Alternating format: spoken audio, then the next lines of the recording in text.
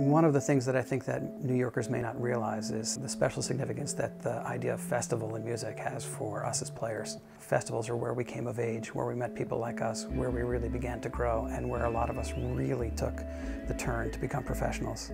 And the spirit of festival is something that mostly Mozart really captures.